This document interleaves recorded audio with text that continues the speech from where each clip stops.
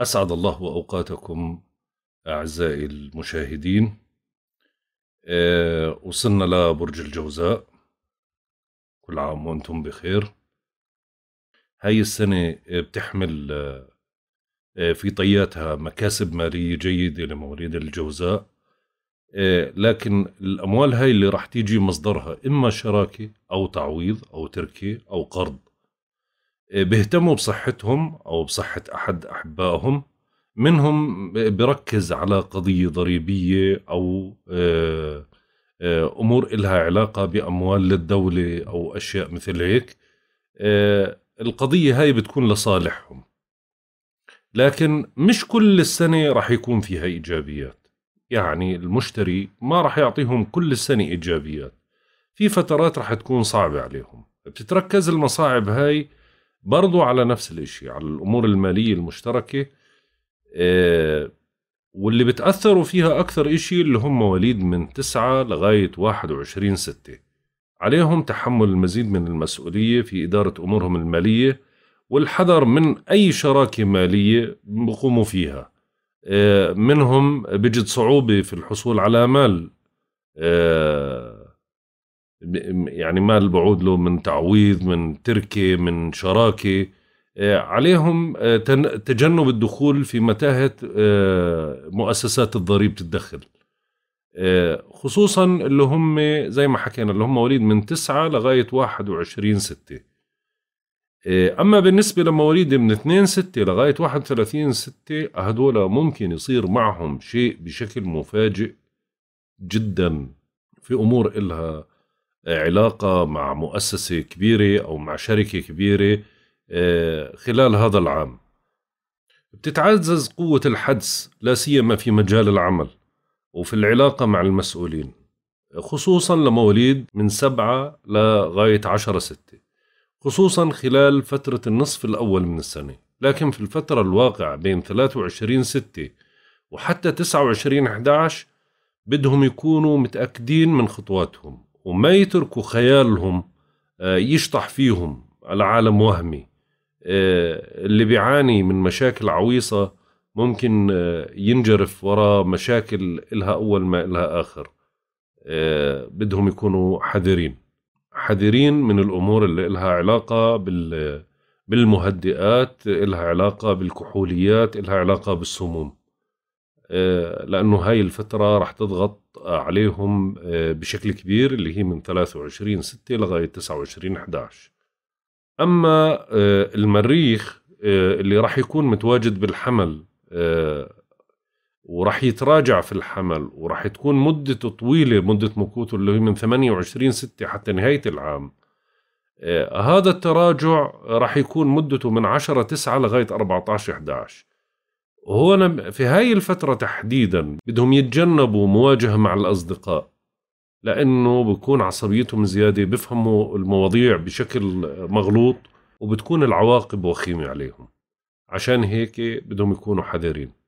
بالنسبة لكوكب الزهرة كوكب الزهرة آه، رح يتواجد عندكم في آه، هذا العام آه، مدة كويسة.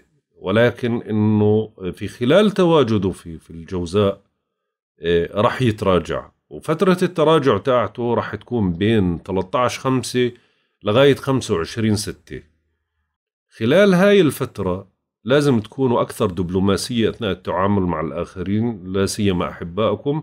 ممكن تتوتر علاقة علاقتكم بهم لأتفه الأسباب هاي الفترة آه، سيئة بصورة عامة للأوراق المالية للبورصة لأي عملية تجميل. يجب الحذر منها من صفقات مالية وعدم البدء بعلاقة غرامية جديدة وعدم الارتباط خطبة أو زفاف. يجب المحافظة على السمعة والإنجازات القائمة آه، بسبب التشتت الذهني. هسا خلال السنوات الماضية أنا كنت دائما أعمل أجندة رزنامة للتواريخ. صحيح إنه السنة هاي فيها كثير أحداث راح تكون ضاغطة ولو لاحظنا إنه ممكن هاي الأحداث تيجي من بفترات كثيرة آه، اللي هي بالفترات من بداية السنة لنهاية السنة. لكن مش معنى هذا إنه ما في أشياء آه، راح تكون إيجابية أو أشياء أنتم تستفيدوا من خلالها أو حظوظ تجيكوا في فترة الضغط. يعني الحياة مش كلها رخاء ومش كلها شد. فعشان هيك بدكم تعرفوا التواريخ الممتازة هاي أو التواريخ تستغلوها بإيش أو الأشهر هاي تستغلوها بإيش لازم تسجلوها تكتبوها عندكم. لما تنكتب هاي وتيجي تحافظ عليها أنت وتحفظها وتراجعها كل شهر بتعرف أنت كل شهر لإيش ووين النقطة اللي أنت بدك تركز عليها عشان تستفيد منها وفي إيش وفي أي مجال وفي نفس اللحظة إيش اللي أنت بدك تحذر منه وإمتى بالضبط. هل هذا الشهر مناسب؟ آه، أغامر فيه آه، عاطفي مالي إلى العمل آه، لإيش تحديدا؟ فعشان هيك بفضل إنه هاي الرزنامة تكتبوها عندكم التواريخ هاي وتحفظوها وكل شهر تطلعوا عليها تشوفوا الشهر هذا مناسب لإيش وتركزوا عليه بشكل مباشر عشان تستفيدوا من كل الأشياء الإيجابية اللي موجودة فيها. هسا خلال السنة هاي بنقسمها إحنا لمراحل.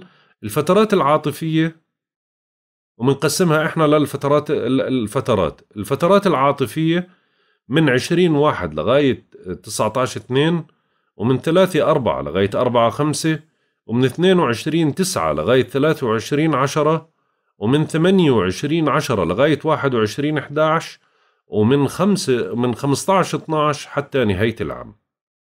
بالنسبة للفترات المالية الفترات اللي فيها مكاسب مالية أو ممكن تدخلوا فيها لأمور إلها علاقة بالمال وتستفيدوا من خلالها اللي هي الفترات اللي ما بين 28 5 لغاية 18 6 ومن 12 7 لغاية 5 8 ومن 7 8 لغاية 6 9 ومن 21 12 حتى نهاية العام.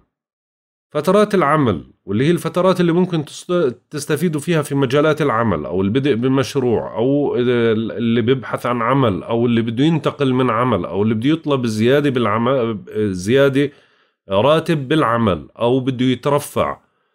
آه، هاي الفترات اللي هي من بداية العام وحتى 17 2 من 16 3 لغاية 11 4 ومن 27 9 لغاية 13 10 ومن 21 11 لغاية 15 12 بالنسبة للفترات الصعبة خلال هذا العام اللي هي من 3 1 لغاية 26 2 ومن 29 4 لغاية 20 5 ومن 23 10 لغاية 21 11 وما تنسوا فترة التراجع فترة وجود المريخ في الحمل من 28 6 لغاية نهاية العام وفترة تراجع الزهرة عندكم في الجوزاء اللي هي من 13 5 ولغاية 25 6 إذا ركزتوا على التواريخ هاي مزبوط؟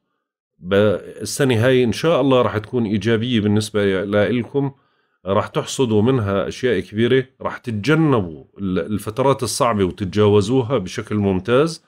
يعني إحنا وظيفتنا إنه إحنا نحلل الخارطة الخارطة الفلكية للعام كامل. نكتب التواريخ المناسبة والتواريخ الغير مناسبة نحذر للإشي المش مناسب عشان نعرف إحنا كيف نتجنبه وندخل على الإشي المناسب ونعرف كيف إحنا نستفيد منه. ما بنتنبأ إحنا بنتوقع توقعات حسابات وعلم فقط لا غير. والنتيجة الله أعلم فيها. ممكن كل اللي أنا حكيته يصير وممكن ولا إشي من اللي أنا حكيته يصير. عشان هيك إحنا بنحكي والله أعلم هاي توقعات آه، مش تنبؤات آه، لا تنسونا من صالح الدعاء وكل عام وأنتم بخير. ويا رضا الله ورضا الوالدين. نشوفكم على خير إن شاء الله.